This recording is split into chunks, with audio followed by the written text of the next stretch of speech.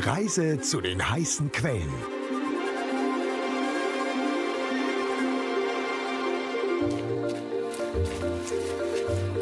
Guten Morgen, müder Krieger.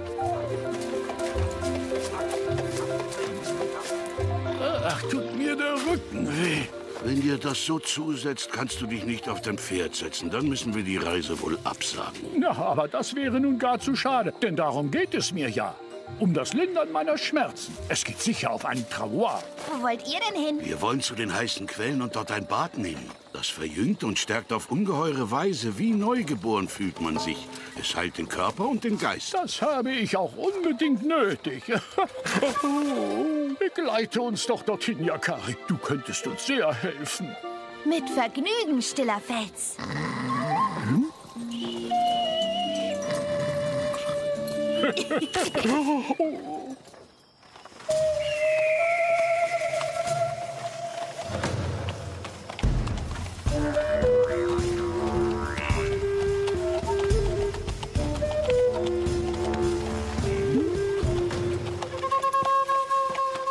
Warte, Fettauge. Halte doch mal an.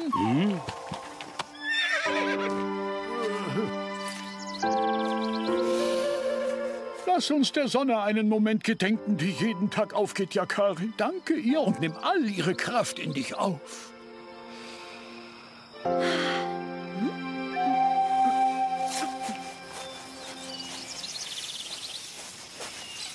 Wusstest du, dass die Bäume miteinander sprechen, Yakari? Sie sprechen auch zu uns, wenn wir es verstehen, ihnen zuzuhören.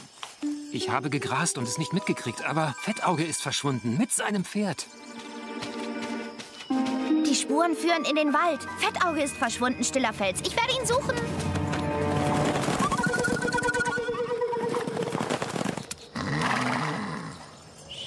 Fettauge? Was ist denn mit dir? Hm? Er schläft? Wie schafft er das denn, ohne dass er runterfällt? So erstaunlich ist das für mich nicht. Wir Pferde schlafen alle im Stehen. Hör mal, grauer Morgen, auch wenn Fettauge einschläft, bleib bitte in unserer Nähe.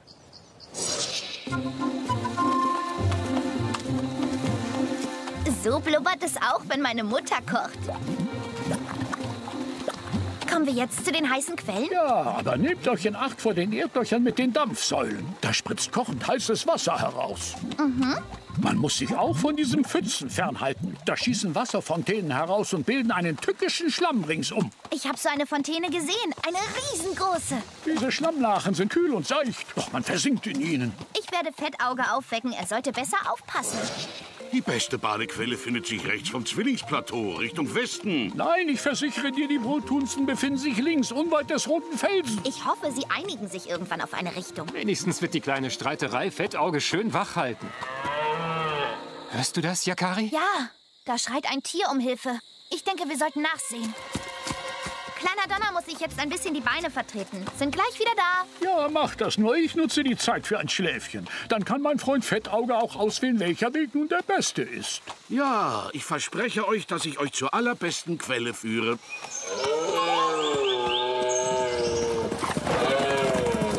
Vorsicht, kleiner Donner. Oh, danke, Yakari. Das Schlammloch hatte ich nicht gesehen. Wir kommen näher. Das Gebrüll kommt von hinter den Büschen.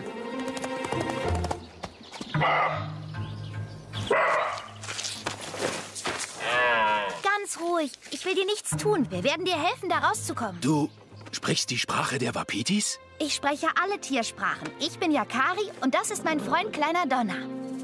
Mich nennt man feine Ohren. Meine Hufe stecken fest. Ich werde dich an deinem Geweih herausziehen. Hilf mir, Kleiner Donner. Ich komme nicht dran. So schaffen wir es nicht. Keine Sorge, feine Ohren, denn Yakari hat noch immer einen Weg gefunden. Er holt dich da raus. Ich weiß schon was. Mit aller Kraft, kleiner Donner. Du musst es schaffen. Noch ein Stückchen. Los, weiter. Ihr habt mich gerettet. Wie bist du in diesem Schlammloch gelandet? Ich war unterwegs zu den Quellen mit meiner Herde und plötzlich dachte ich, ein Puma würde mich angreifen. Ich bin in Panik weggelaufen. Sagtest du, ein Puma? Ja, man muss durch sein Revier auf dem Weg zu den heißen Quellen. Schon letztes Mal hat er sich wie wild auf uns gestürzt. Wir teilten uns auf und mich hatte der Puma dann verfolgt. Und er lief weg? Ja, aber das hatte ich nur einem Grizzly zu verdanken, den er ziemlich geärgert hat. Und seitdem habe ich Angst hier in dieser Gegend. Nicht so wild. Wir finden deine Herde schon wieder. Wir wollen auch zu den heißen Quellen. Dazu musst du uns nur unauffällig folgen. Zwei Männer unseres Stammes begleiten uns. Keine Angst, es sind keine Jäger. Na gut, wenn das so ist, dann folge ich euch.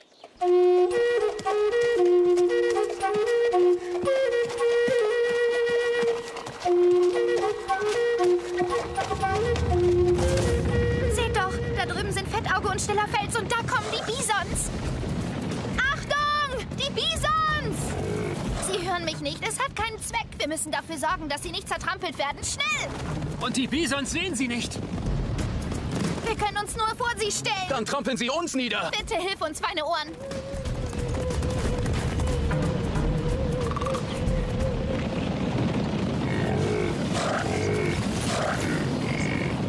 Alles klar?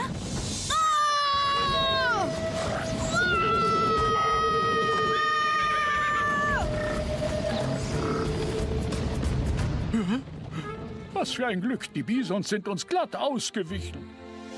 Ja. Hast du das eben gesehen, Yakari? Da stand gerade ein Wapiti neben dir. Stiller Fels? Hast du hier etwa gerade so einen Lärm gemacht? Hey, wir stehen hier mitten auf einem Bisonpfad. Es wäre sehr unvorsichtig, hier zu bleiben. Schnell weg!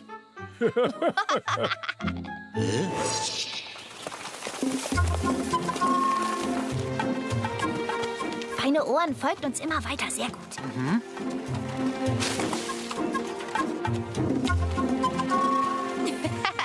da habt ihr euch umsonst gestritten. Seht mal da. Ihr habt beide von derselben Quelle gesprochen.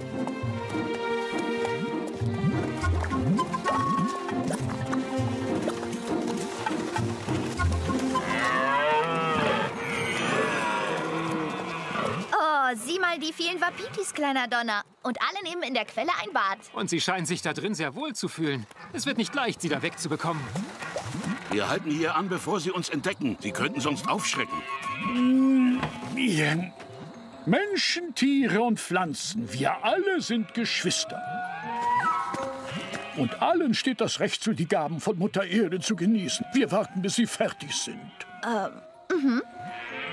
Lasst uns dorthin gehen, wo sie uns nicht sehen. Es wird Zeit, ein bisschen zu essen. Setzt ihr euch schon mal hin. Ich will ihnen noch zusehen.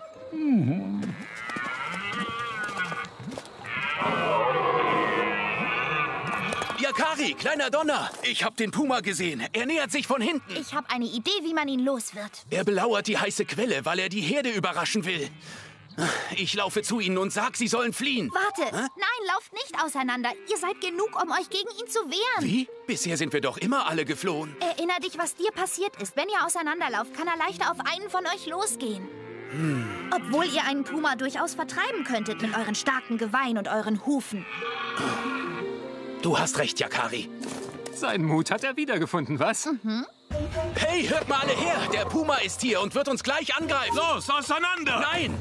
Wenn wir das tun, dann erwischt er den langsamsten von uns. Und was sollen wir sonst tun? Wir sind doch immer weggelaufen. Ja, genau. Aber von heute an laufen wir nicht auseinander, sondern verteidigen uns. Kommt, stellt euch alle um mich auf. Es ist gut gegangen. Sie hören alle auf ihn. Das ist doch gut so. Dort kommt er. Sieh nur.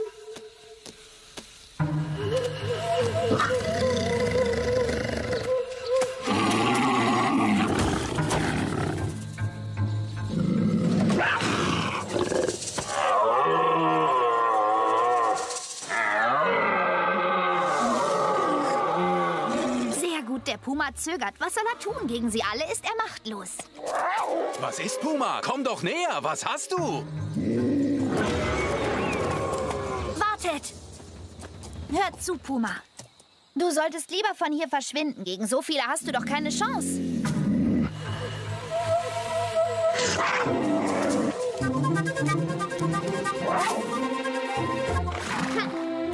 Haben es geschafft. Glück. Puma Den ist sind weg. wir los. Wir haben ihn verjagt. Das haben wir ganz allein deinem Mut zu verdanken, feine Ohren. Du solltest unser Anführer sein. Ich bitte dich, nimm an.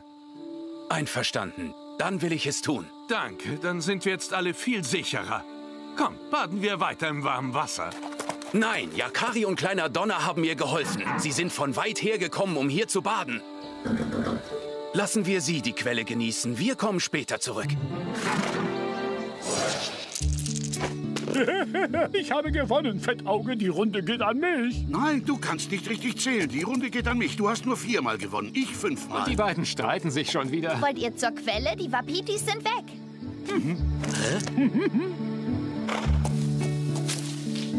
Ach, meine lieben Freunde, was für ein schöner Tag ist das mal wieder gewesen. So ruhig und ohne jede Störung. Ein schönes, heißes Bad, das lindert die Schmerzen und entspannt den Leib. Und dann meine gewonnene Partie.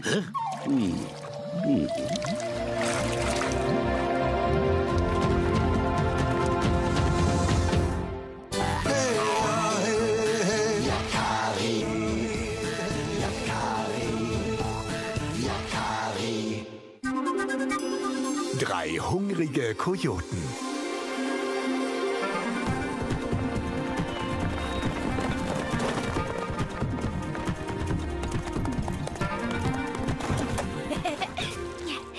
Was für ein Fang, Yakari. Die bringe ich meiner Mutter und bin dann gleich wieder da, kleiner Donner.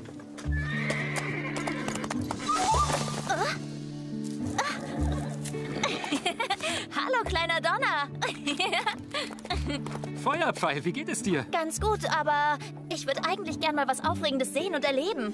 Du bist noch jung. Das wird noch aufregend genug. Hab ein wenig Geduld. Ich weiß, aber wie lange muss ich denn noch darauf warten? Hallo, meine Freunde. Yakari! Anscheinend kann dieses junge Pony es kaum erwarten, sein erstes großes Abenteuer mit uns zu erleben. Na schön, warum nicht? Wie? Heißt das, ich darf wirklich mit? Ja, natürlich, Feuerpfeil. Hm, vorher müssen wir aber noch deine Mutter fragen.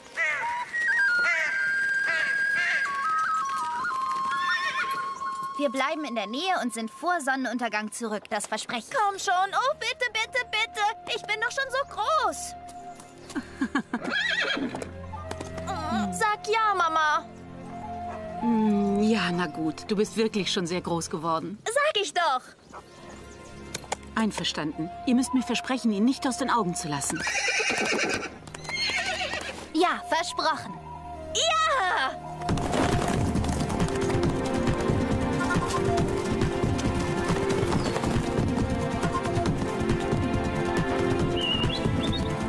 Macht mich noch ganz schwindelig.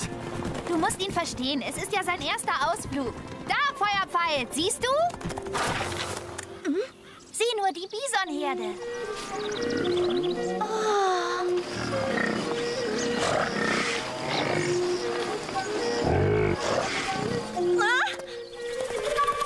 Wieso starren die uns so an? Sie haben uns längst gewittert. Bisons haben einen guten Geruchssinn. Du brauchst keine Angst zu haben. Sie sind Freunde. Bis zur Steilwand, wer schneller ist.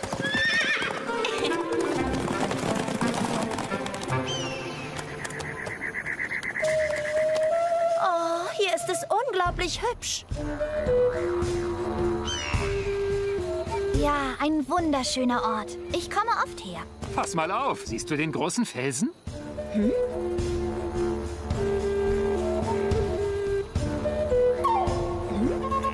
meine ich. Die Mustangs treffen sich dort, wenn ihnen Gefahr droht. Hallo, Schwarzschnabel. Hast du mir zugehört, Feuerpfeil? Hallo? Ja, ja.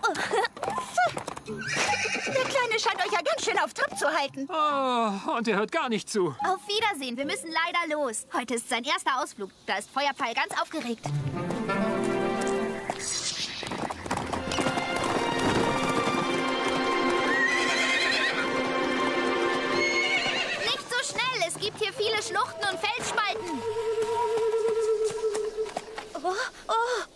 Ja, da. Lauf nicht zu weit vor. Wir sollten auf dich aufpassen. Erinnerst du dich? Kleiner Donner zeigt dir, wie man sie überquert. Du solltest ihm genau zuschauen. Siehst du? Genau in der Mitte gehen und immer schön das Gleichgewicht halten. Dann ruhig ein Bein vors andere setzen und zwar so. Na bitte. Das sieht aber leicht aus. Das schaffe ich bestimmt beim ersten Mal. Nein, warte. Hier ist es viel zu hoch. So etwas ist sehr gefährlich. Mir egal. Aha. Schön vorsichtig. Ja, so ist gut. Oh. Oh. Das ist ja wirklich sehr hoch. Nicht nach unten blicken. Geh vorwärts und dann hör genau auf kleiner Donner.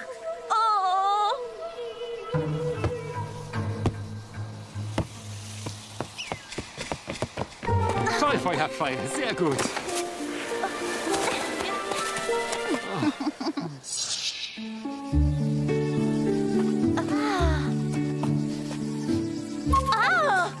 Sieh dir das hier an, Feuerpfeil. Das hier sind Kojotenspuren. Kojoten? Werden die uns auffressen? Nicht, wenn wir ins Dorf zurückreiten und ihnen ausweichen. Ja, das wäre schlauer. Sie sind in der Überzahl und die Spuren sind frisch. Halte dich ganz dicht bei uns. Die Kojoten sind zu Recht gefürchtete Jäger.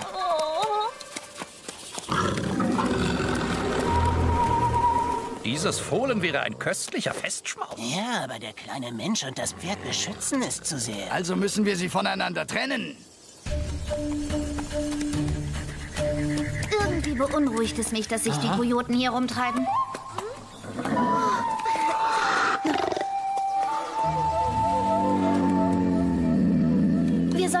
Freundlich grüßen.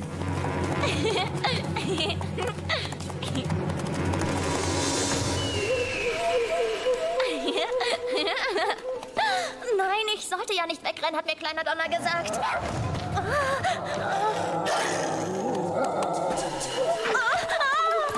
Warten wir auf den kleinen Menschen und sein Pferd. Das Fohlen schnappen wir uns danach noch.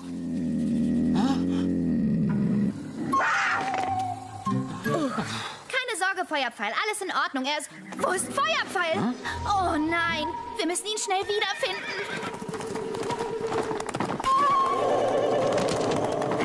Hallo, ich bin Yakari und das ist Kleiner Donner. Wir sind als eure Freunde hier. Das Pferd und du, ihr zwei habt hier gar nichts zu suchen. Wir gehen ja auch gleich, aber vorher müssen wir einen Freund wiederfinden, ein Fohlen. Tut mir leid, das Fohlen gehört jetzt uns. Und zwar mit Haut und Haaren. Widersprich ihnen erstmal lieber nicht. Ja, du hast recht. Wir sind ihnen sicher nicht gewachsen. Wenn Feuerpfeil ein bisschen zugehört hat, wird er den Felsen aufsuchen. Na gut, ihr habt gewonnen. Wir verschwinden.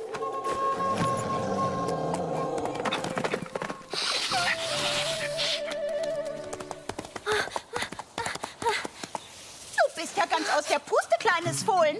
Du bist es, Elster. Ich war bei Yakari und Kleiner Donner und dann kamen Kojoten und ich... Nun beruhige dich doch.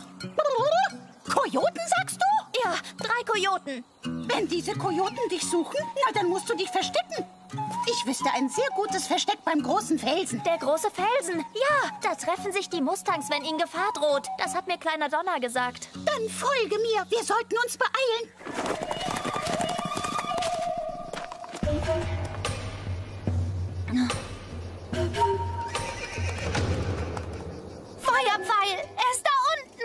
Elster begleitet ihn. Oh nein, was ist das? Die Kojoten sind hinter ihnen her. Wir müssen uns beeilen. Siehst du, wir sind schon da. Der große Felsen und der Eingang zu der Höhle, in der du dich verstecken kannst. Ich danke dir, Elster. Am Ende der Höhle ist ein kleiner Tunnel. Da läufst du durch. Der führt zu einem geheimen Ausgang. Naja, und du? Ich werde die Kojoten so lange wie irgend möglich aufhalten. Na los, nun lauf. Und schau ja nicht zurück. Oh.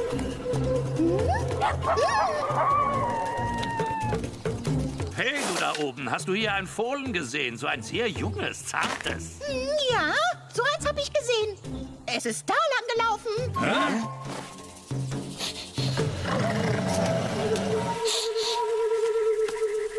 Ja, aber ich wittere es in dieser Richtung.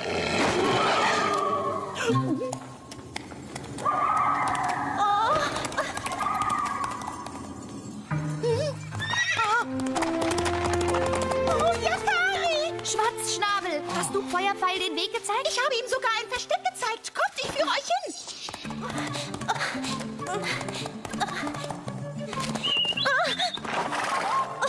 Yakari, Kleiner Donner. Los, Kleiner Donner, wir versperren den Ausgang mit Steinen.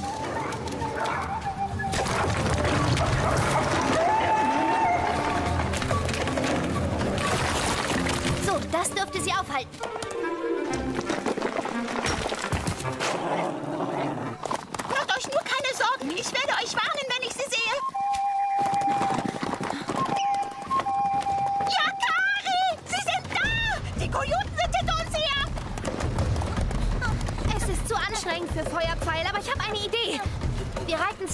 Schlucht. Feuerpfeil muss vorangehen. Ich halte die Kojoten auf, keine Angst. Und ich warne euch, wenn sie wieder in der Nähe sind. Ganz ruhig. Denk daran, was kleiner Donner dir gezeigt hat. Das kannst du. Zweifel nicht an dir. Genau in der Mitte gehen und das Gleichgewicht. Schön weitergehen. Und ja nicht stehen bleiben. Und sind sie noch weit weg? Nein, sie kommen schon. Feuerpfeil ist in Sicherheit. Schnell, wir stoßen den Stamm in die Schlucht runter. Das schneidet ihnen den Weg ab.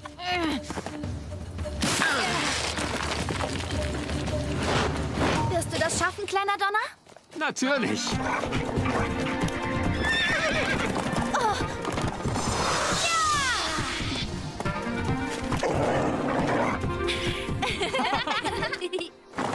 Der ist sehr schlau, der kleine Mensch. Hey! Hoppla!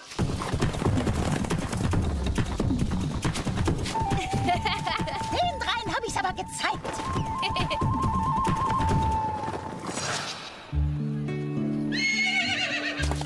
Unglaublich war das. Wir sind über einen Baum in der Luft gelaufen, dann habe ich mich verirrt. Und da hat eine Elster mir geholfen. Und sie hat einen Stein nach den Kojoten geworfen. Oh, ein Baum in der Luft, wirklich. Und auch noch Kojoten. Ja, aber Yakari und Kleiner Donner haben mich beschützt. Das nächste Mal ist er vorsichtiger. Und das sollte man auch sein auf Abenteuerreisen.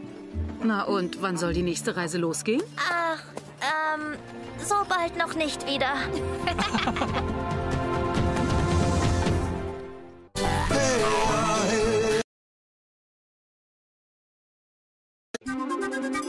Totem Yakari.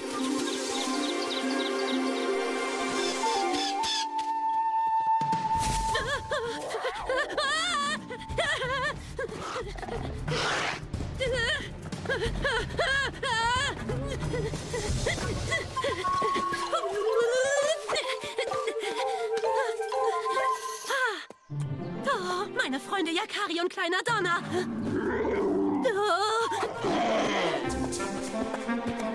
Yakari! Bitte beschütz mich, ich flehe dich an. Natürlich, Großauge, aber vor... Ah! Bleib meinen Freunden ja vom Leib, Lux. Yakari. Der Luchs wollte mich, ähm, naja, mit Haut und Haaren auffressen, wärt ihr nicht gewesen. Ein Glück, dass wir zufällig in der Nähe waren. Hey, was macht ihr eigentlich hier in der Gegend? Meine Mutter braucht Arnika-Blüten, um ein Heilmittel herzustellen. Die suchen wir. Weiter geht's, kleiner. Oh, gehört das dir, Yakari? Oh, mein Totem. Danke, Großauge. Das bedeutet mir wirklich sehr viel. Bis bald. Oh, sein Totem?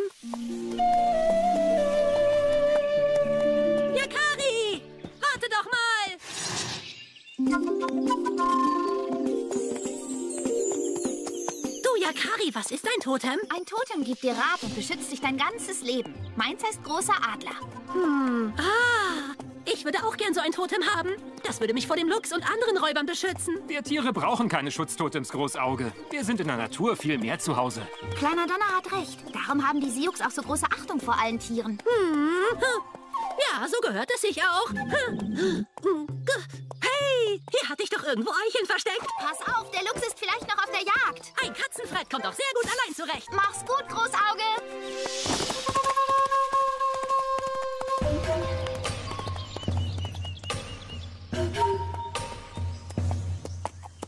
Hier finden wir bestimmt Arnika. Die Blüten der Arnika-Pflanze sind ganz sonnengelb. Los, suchen wir.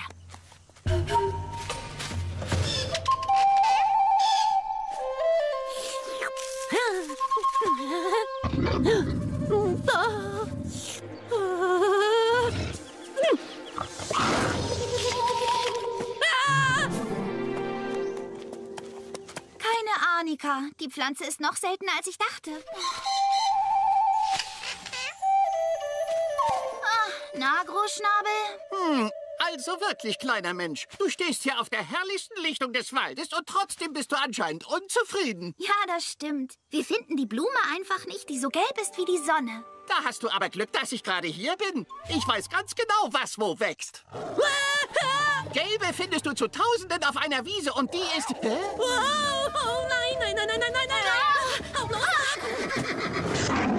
Ich bitte dich, Lux, lass Großauge in Ruhe. Hä? Du sprichst wie ich und willst dich in meine Jagd einmischen.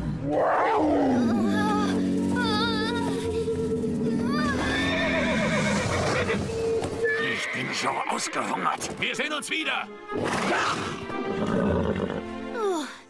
Toll, Yakari, du hast mich schon zweimal vor den Luchskrallen gerettet. Hm, du bist mein Totem. Du hast großer Adler. Naja, und ich hab dann großer Yakari.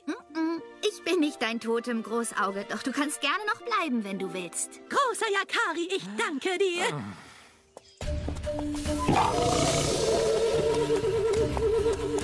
Großschnabel wollte mir eigentlich sagen, wo wir die Wiese mit den gelben Blumen finden. Hm. Wenn ich da oben bin, sehe ich sie vielleicht. Hey, großer Yakari, lass uns doch hier nicht ganz allein. Großauge nicht. Ah.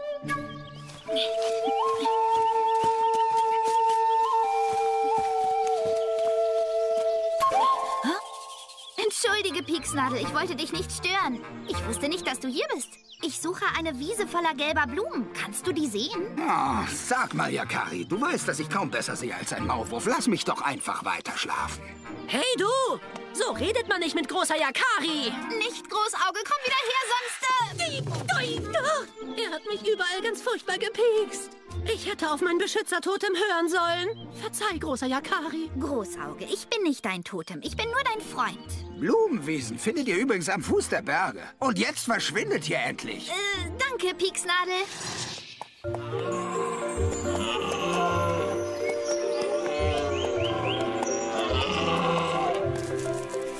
Ich grüße dich, Wapiti. Ich suche eine Blume, die blüht so gelb wie die Sonne. Hast du hier vielleicht welche gesehen?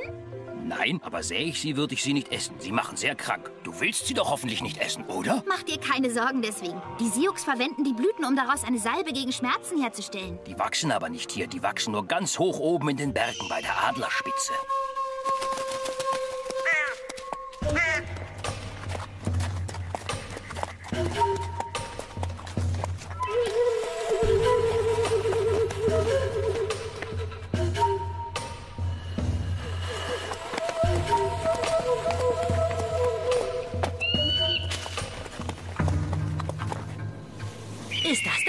Totem, Yakari? Großer Adler! Das ist nicht großer Adler. Das kann nur ein Bergadler sein, so wie er seine Kreise dort oben zieht. Schade. Ich hätte gern mal dein Totemtier kennengelernt. Hey!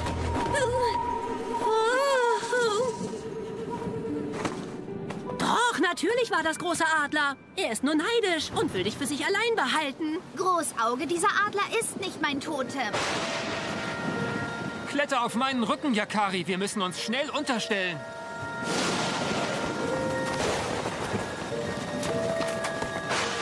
Frag doch, großer Adler. Er soll was tun gegen den Regen. Unsinn. Man stört sein Totem nicht wegen solcher Kleinigkeiten. Nein, sicher nicht. Da vorn. Eine Höhle.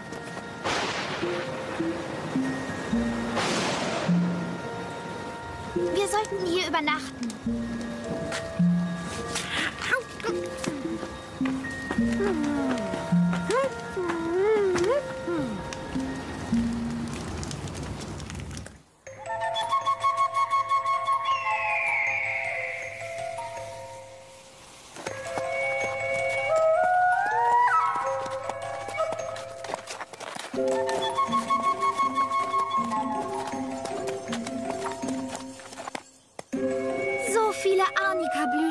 Arnika-Blüten. Schimmernde Zöpfe wird sich freuen.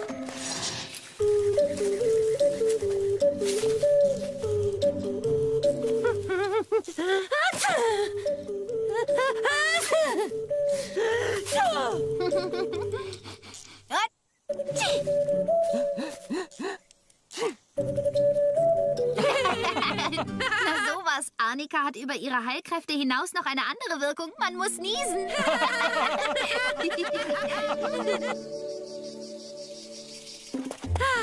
So schön bei dir in deinem Tipi. Äh, Moment mal. Hör zu, Großauge. Deine Heimat ist doch der Wald. Dein Platz ist nicht in einem Dorf zwischen lauter Menschen. Oh, Yakari! Kleiner Donner hat recht. Hm, Aber du hast uns geholfen, die Blumen zu finden. Ach, du bist viel zu großzügig, Yakari. So wird es Großauge nicht gelingen, seinen Mut wiederzufinden.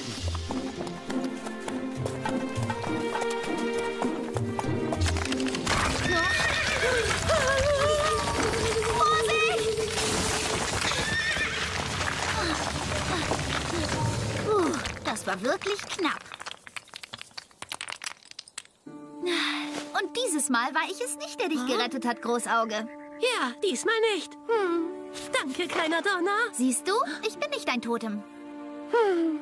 Wie schade um all die schönen Blumen. Oh nein, die Arnika-Blüten.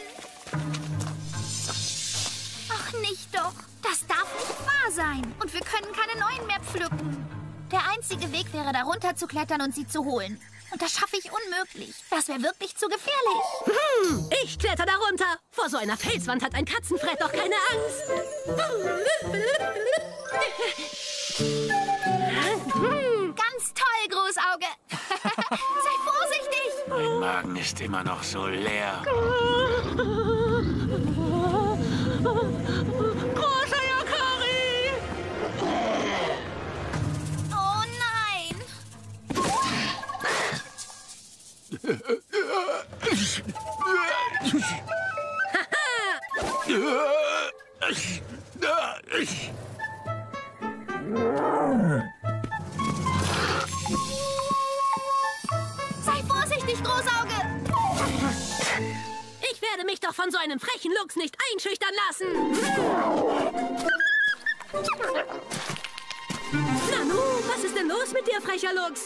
Etwa gar keinen Hunger mehr? Haha, seht ihr? Großauge. Yakari!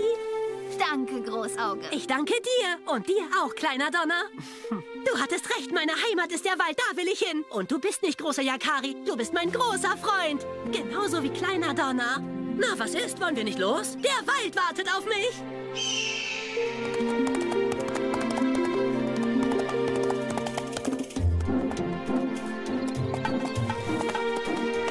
Würdest du mir bitte eine Arnika-Blüte schenken? Natürlich. Eine zur Erinnerung an unser Abenteuer. Hm, die hilft nicht nur gegen Schmerzen, sondern auch gegen Luchse. Macht's gut, meine Freunde. Macht's gut, Großauge.